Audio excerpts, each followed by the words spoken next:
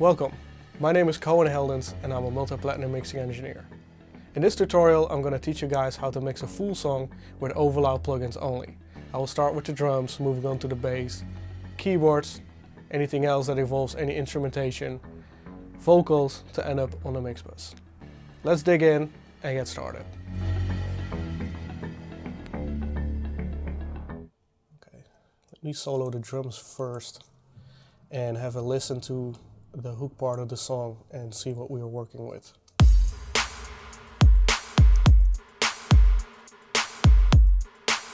As you can see, it's not overly a lot going on. It's uh, two layer kick drums and a couple of snares and claps with some hi-hats. So I'd like to insert the EQ84 from Overloud on every single insert to emulate a British console. Let's start with the kick drum. So what I usually love to do is add a little bit of 60 Hertz on the kick just to round it off a bit more on the bottom end, which we can see we can do right here.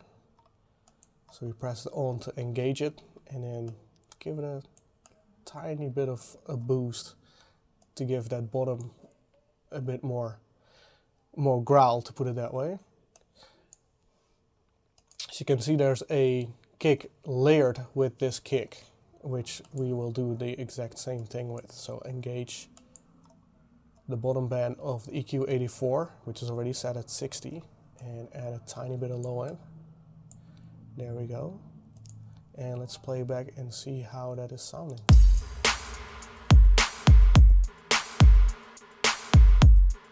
As you can hear, the low end has a bit more beefier now, using a little bit of 60 Hertz. So let's have a listen to the snaps. So what I like to do with the snaps is actually add a little bit of mid-range to them to give it a little bit more body. So let's switch on the mid-band right here and probably set it to about 800 Hertz. Let's boost it a bit more to figure out if we have the right frequency here. So let's play that back and see how it sounds.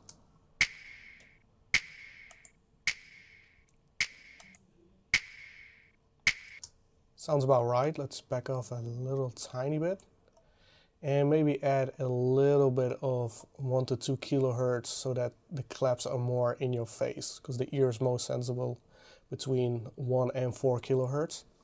So engage the next band over and dial this to probably a little bit in between 700 and 1.6 kilohertz and boost this a bit and see how that sounds.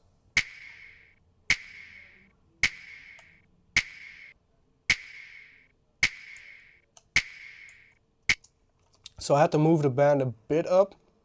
As you could hear, it became more apparent. The sound of the clap became more apparent. So now we have that dialed in. Let's dial it back a little bit to make it more natural and play back and see how that sounds. And this is how it sounds without the EQ.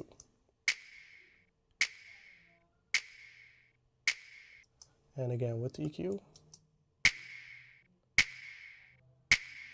Can hear the clap became a lot more present in the mix. We can pretty much do the same thing with the clap underneath that because it's more of a, a layered clap. So what we're going to do again is engage the middle band, switch it to around 7 800 hertz, boost it a bit, play it back and see how that sounds.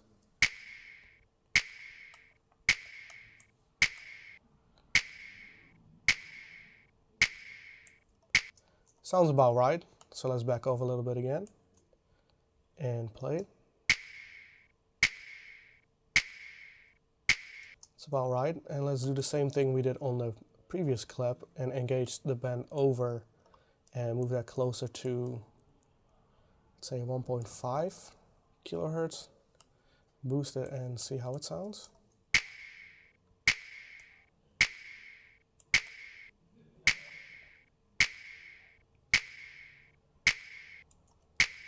It's about right. Let's move it back again and play it back. Sounds about right. Let's bypass the plugin and see how it sounded before. and how it sounds after.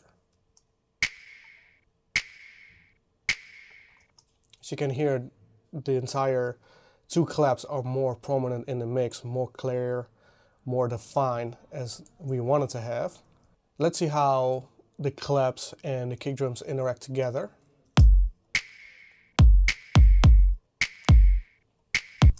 As you can hear, the kick drums are a little bit too prominent, so I'm just going to raise the levels of the claps a tiny bit.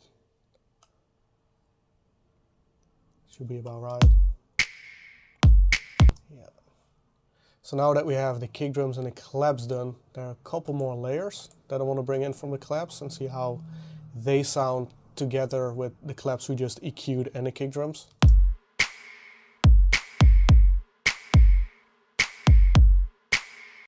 So as you can hear, the claps that I just added in are more reverbed. So what I want to do with those is remove a little bit of their body to make them fit better and have them interact better with the rest of the drums that are playing right now. So let's take the first clap that we have in there and we're going to engage the middle band again.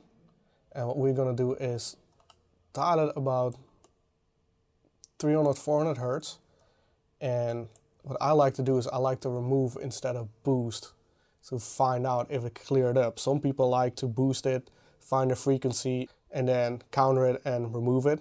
I like to just remove it and see how it improves the sound or not, and then find that frequency and keep it there. So let's do that.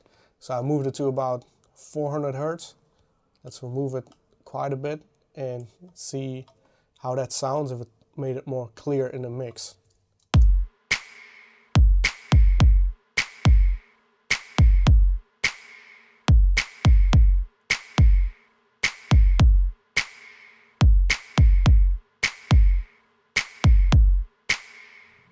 So it's a bit clearer around, I'd say 550 hertz.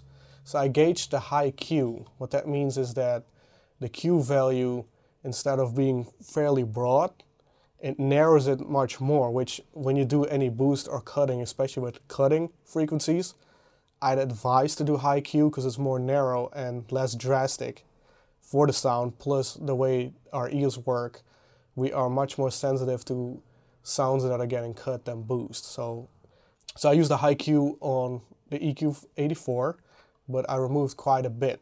So I want to dial that back a little bit as well. And then play this clap back with the rest of the drums that we just processed and see how it sounds.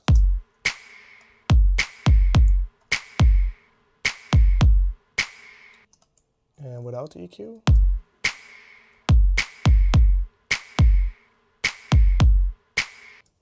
The EQ engaged. As you can hear, it cleared up a little bit of the interaction between all the layered claps. So we can see that there's another clap layered underneath it. And we're going to do the same exact processing to that one. So again, we engaged that middle band, set it to high Q, and move it to about the same frequency and remove it quite drastically Let's play it back and see how that sounds with the rest of the drums.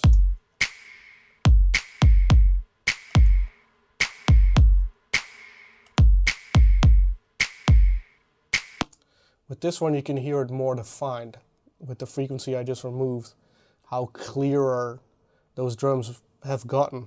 Because with the EQ not engaged, we can hear quite a bit of mud, the reverb mud of that clap in the mix, and we want to get, we really want to get rid of that.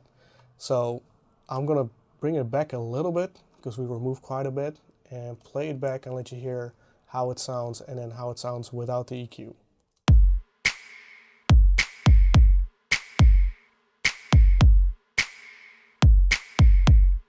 And this is what it was without the EQ.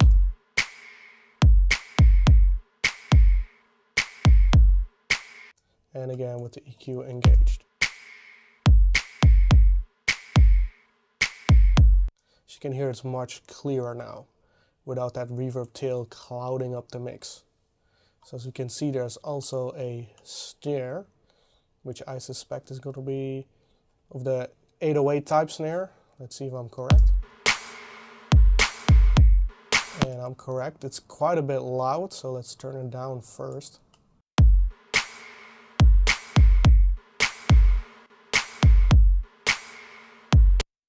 And the same here. Sounds like the snare is being used more as a layer for the body of the, cla of the claps and snares. But again, we can hear quite a bit of reverb tail in there, so we want to tame that too, and we're going to do it the same way. So we're going to engage the midband and set it to about the same 500 hertz area with the high Q engaged. Let's remove it quite a bit and press play and see how that improves the sound.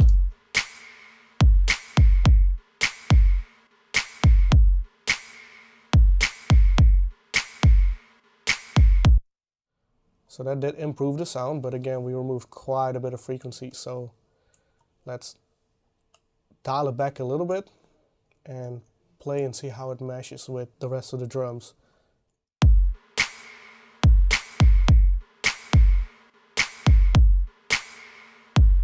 So with the EQ engaged and this is without it.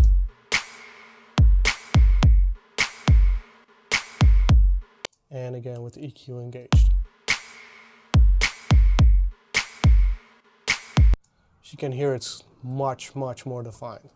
Less reverb tail, less mud in the entire drum group over there. So having done the kick drum, the claps and the snare, let's move on to the shakers and the hi-hats in the mix, which I usually tend to process fairly similar as if you would treat a real acoustic drum kit as more like a one defined sound. So let's mute all our claps and kick drums and engage our hi-hats for a minute to see how they sound.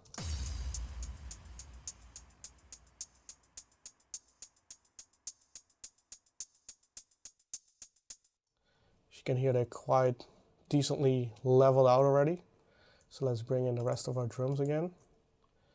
And let's start with the shaker. Probably I want to add just a little bit of high end to it to lift it a little bit out of the the rest of the drums. So let's look at the EQ84 here. And what we're going to do is we're going to use this band over here almost all the way to the left. So it's engaged that. And I'll push it all the way to 7.2 kilohertz.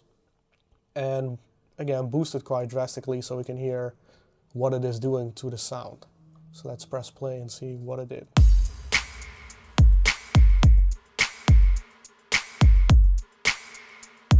That sounds about right, but again, it's quite a bit of a boost. So dial it back a little bit, press play again.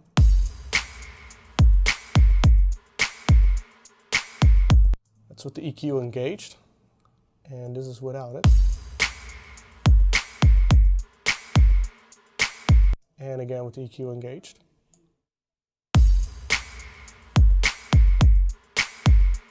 As you can hear, it lifted the shaker more out of the groups uh, more into its own defined frequency space. So now we really have the kick on the bottom, the snares and the claps right on top of the kick, and then the shaker now is sitting on top of that. So we have a nice, nice floor to ceiling built frequency space for the drums. We're not quite done yet because we still have a group of hi-hats sitting here. So I'm gonna start with the hi-hat group over here, which is quite a bit. And let's do the same thing. Let's probably put it at about 7.2 kilohertz right over here. Let's engage the man and give it quite of a bit of a boost and see how that interacts with the rest of the drums and if that is the right frequency.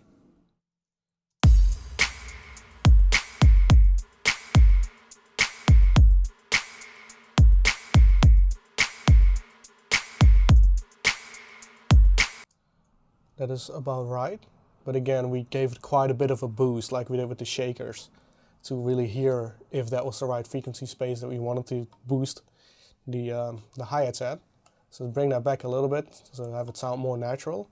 Let's play it back again and see how that sounds. It's about right. So this is how it sounded without the EQ engaged. And with the EQ engaged.